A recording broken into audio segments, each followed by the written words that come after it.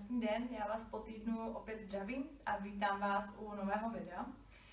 Dneska bych se eh, chtěla zaměřit na to, eh, jaké produkty konkrétní eh, používám v těhotenství, co se mi všechno osvědčilo a celkově, jak se o sebe starám, o svoje tělo, o svoji pokožku a i o svoji mysl.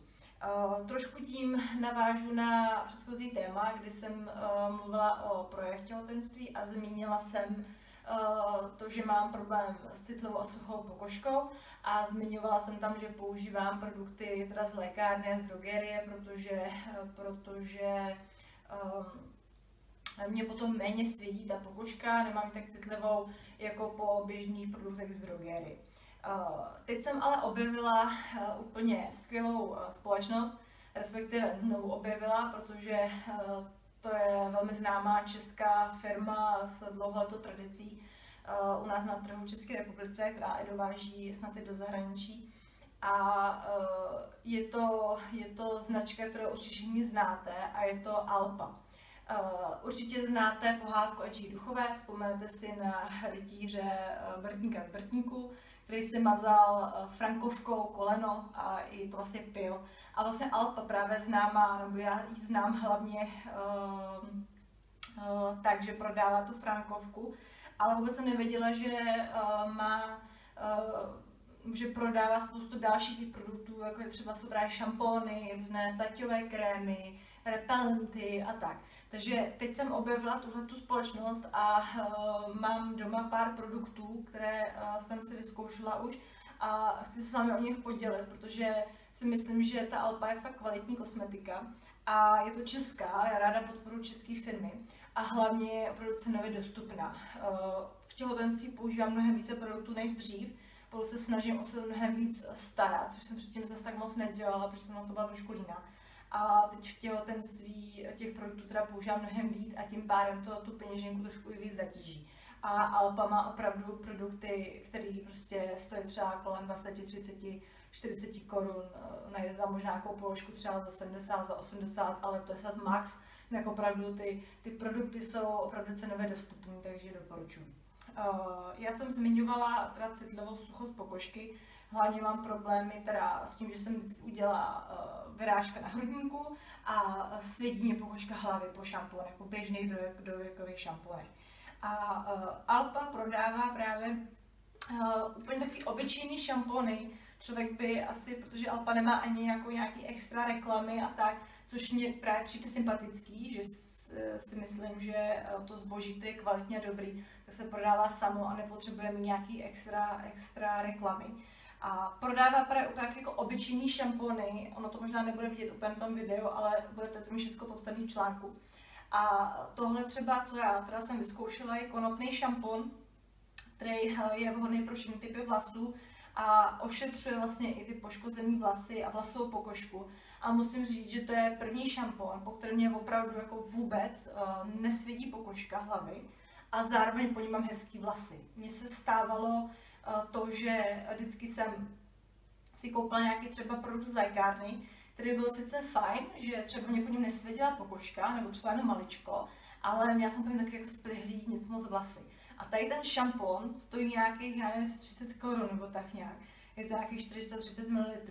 A opravdu uh, nesedí mě po něm pokožka hlavy a mám po něm fakt pěkný vlasy. Takže z něho jsem nadšená a to budu se určitě kupovat pravidelně. A možná vyzkouším třeba i nějaký jiný šampony, co Alpa má, má v prodeji, protože tam ještě nějaký březový šampon a a uh, ještě nějaký kopřivové. To jsou taky jako typický kopřivý šampon, to už jsme používali jako děti, naše maminky. A ono je fakt, že tady ty věci, taková ta klasika osvědčená je asi fakt nejlepší a není třeba zkoušet miliony produktů z drogerie a z lékáren, drahých produktů, uh, což u mě byl docela koníček jeden čas. To jsem pak musela všem rozdat, protože jsem to už samozřejmě nevypotřebovala. Um, pak ještě používám, co se týče teda těla, tak to teda teď není od Alpy, ale úplně obyčejný arganový olej se mi osvěžil na uh, suchost pokožky. Takže se snažím mazat, uh, mazat si tělo uh, tím arganovým olejem, pokud možno pravidelně. Krásně vám to promastí tu pokožku, je dobrý tam nechat třeba chvilku působit, uh, buď to nechat úplně vstřebat, nebo to pak opláchnout, kdyby toho bylo třeba moc. ale uh, musím říct, že arganový olej je skvělý na, na tělo a je skvělý i třeba na obličeje a je skvělý na vlasy. Já používám takový obyčejný kuchyňský z nějakého bioobchodu, nemám ho teď tady, takže nevím tu značku, ale uh, je to prostě obyčejný kuchyňský Samozřejmě těch značek je spousta, co prodávají tyhle ty oleje, ale to kuchyňský olej, který se dá používat normálně i v kuchyni a zároveň se ho můžete mazat i na tělo, na vlasy, dělat si různý bal, uh, balzámy, zábaly vlasový a tak. Takže uh, používám ještě ten arganový olej. Na obličej jsem teď zase od Alpy osvědčil uh, pleťový krém se člí mateří kašičkou, což je zase uh, krémík, který stojí nějakých kolem 30 korun, ani ne, když se mrknete na e-shopu Alpy, tak tam to všechno máte. A uh, je takový hrozně příjemný na obličej, krásně se vstřeba, není moc masný, opravdu jako akorát a, a je prostě pro cenově dostupný. A co si budeme povídat, v drogerii často ty krémy stojí fakt jako Myland a vám to vydrží vlastně chvíli ten krém. Takže hodně velkou spotřebu pak člověk má, když se snaží pravidelně mazat a ta peněženka to pak opravdu pocítí. Uh, na obličeji teď používám zase opět od Alpy krém na opalování s ochranným faktorem 6, je to pleťový krém, takže zase je to na obličej. A používám to z toho důvodu, eh, protože v těhotenství je zvýšená pigmentace. Můžu, můžu sám mnohem vytvořit pihy, různý znamínka, skvrnky pigmentový. A eh, já docela k tomuhle mám sklony, že se mi hodně dělají pihy. Takže jsem se rozhodla, že začnu trošku víc pečovat o tu pokožku, co se týče teda toho slunečního záření. Používám teda ten ochranný faktor, jenom šestku, je to nízký faktor, ale já jsem se vlastně nikdy v Čechách nemazala, vždycky jsem uh, se prostě opalovala bez toho, vím, že se to nemá, není to určitě dobrý, pokožka stárne všechno, ale prostě jsem byla zvyklá, opravdu miluju sluníčko, já jsem schopná se slunit na sluníčku od rána do večera, na přímý sluníčku, ale teď v těhotenství přece jenom je to trošku jiný. Takže, takže už trošičku začínám dávat na sebe pozor, i co se týče toho, toho ochranného faktoru, abych aspoň nějaký měla. A na té pokožce, na tom obličeji, je to opravdu vidět, že eh, ta pokožka potom stárne vlivem těch toho sluníčka. Takže to doporučuji. Pak ještě po zimě, no hlavně v zimě jsem na to trpěla, uh, jsou, je ba, popraskaný rty, ale hodně extrémně, takže uh, zase se mi osvědčil balzam na rty od Alpy, tady mám zrovna vůně višně a švestky, zase je to uh, s rčeným voskem, je to s vitamínem E, s mandlovým olejem a musím říct, že opravdu je to balzám, který je hrozně příjemný, je takový jemňonký na těch rtech. A nepotřebujete se tím mazat furt, že opravdu se namažete a vydrží to.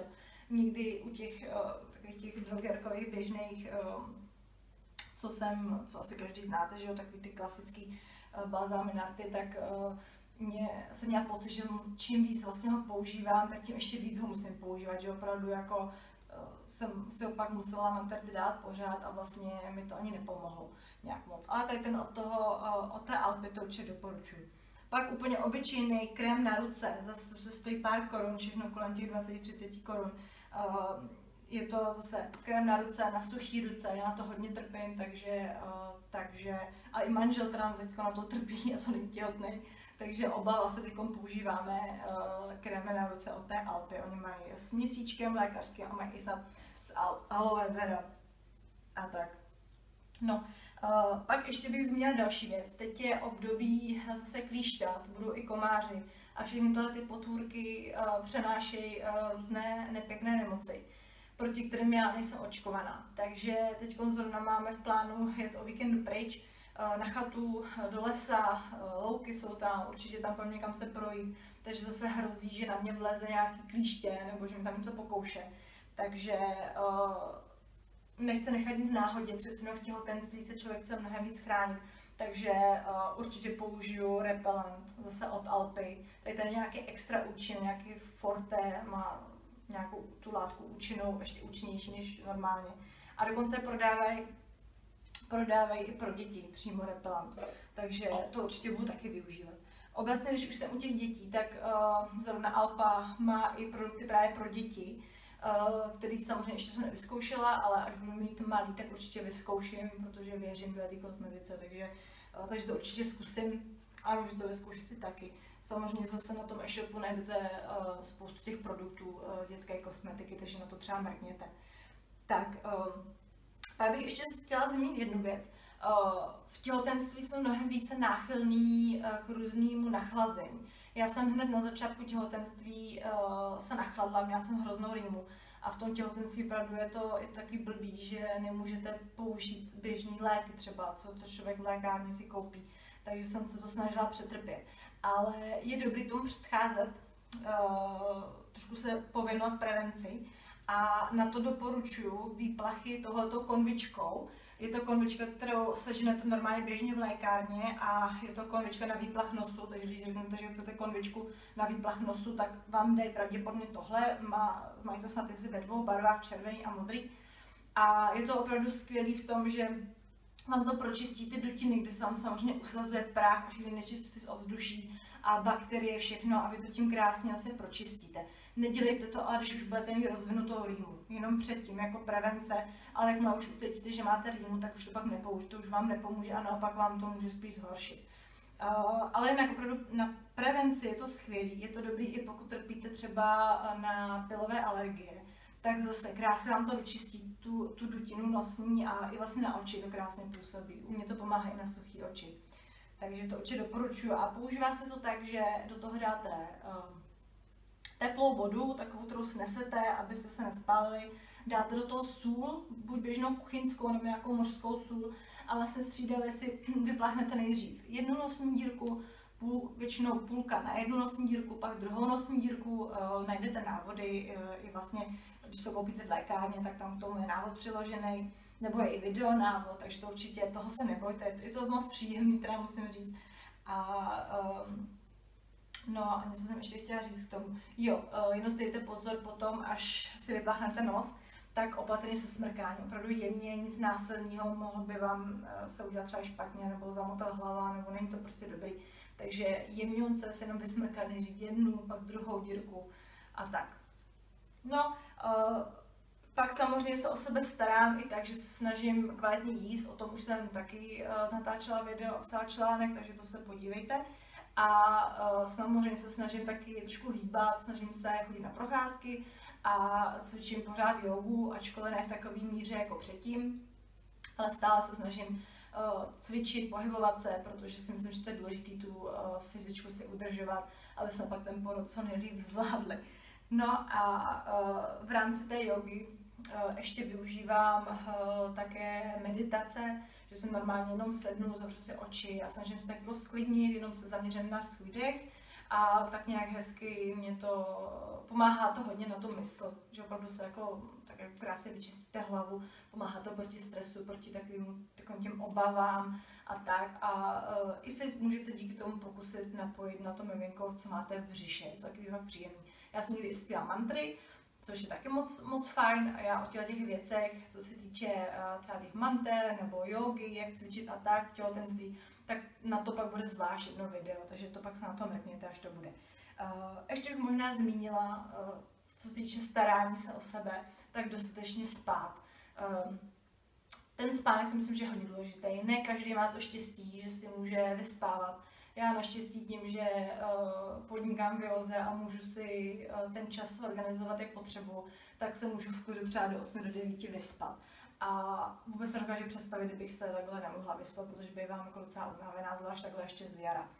Uh, takže určitě dostatek spánku. Já jsem na začátku byla taková trošku, uh, jsem měla výčitky, že spím tak dlouho, ale pak jsem si řekla, že uh, si to užiju, protože pak už se nevyspím, až se to narodí. Tak jo, to je asi všechno, to, co mě teď napadlo. Možná zase, když mi něco napadne, tak to bude v článku.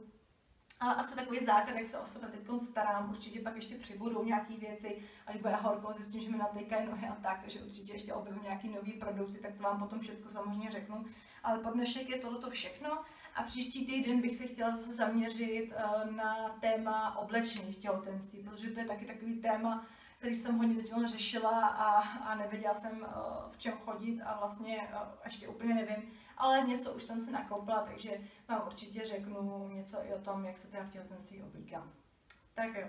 Tak já vám moc krát děkuji, že jste se podívali na to video. Uh, přečtěte si i článek a já se na vás budu těšit zase příští týden. Mějte se krásně.